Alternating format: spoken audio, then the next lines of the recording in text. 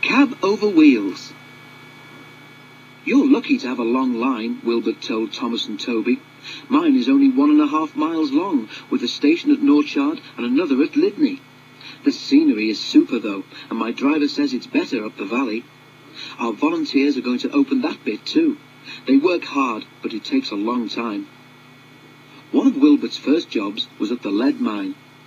Don't pass the danger notice, Thomas warned. I fell down a mine once. Wilbert smiled. I've worked in a colliery, he said, so I know about danger notices. But, he added, there was an engine once who thought he knew better.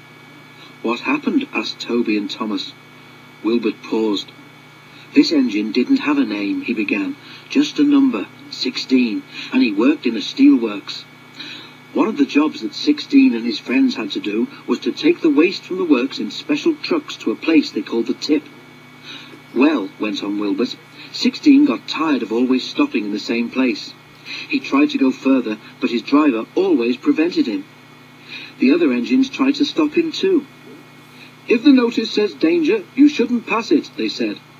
16 paid no attention. Don't be stupid, his driver said. We mustn't pass the notice, or goodness knows where we shall end up. But 16 wanted to know. Pooh, he scoffed. I can take care of myself. One wet day, 16's chance came. The rails were slippery, and when his driver tried to stop, he couldn't. You see, 16 had asked the trucks which were in front of him to carry on past the warning sign. They did just that, and their momentum pulled 16 with them. You silly engine, scolded his driver. Wasn't my fault, muttered 16 sulkily. It was those trucks. You've always wanted to pass that board, said the driver crossly. I believe you asked them to drag us on purpose. A foreman ran towards them. What are you doing there, driver? he shouted. It's not safe.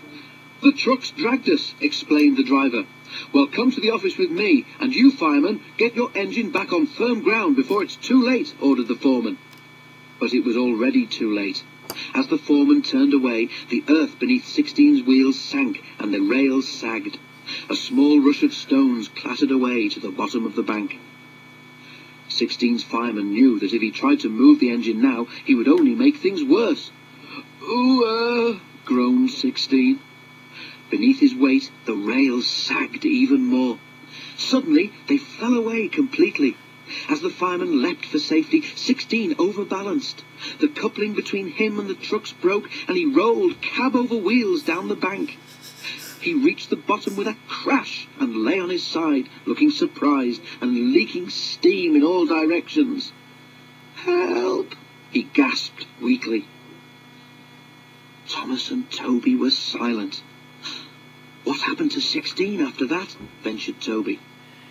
Oh, he was rescued, Wilbert said, but he wasn't repaired, and he was sent to the back of the shed in disgrace. Is he still there? asked Thomas. He got better than he deserved, smiled Wilbert. Some preservation people came and bought him, and now he lives in the Midlands, but I think he's lucky to have been given a second chance. Thomas and Toby could only agree.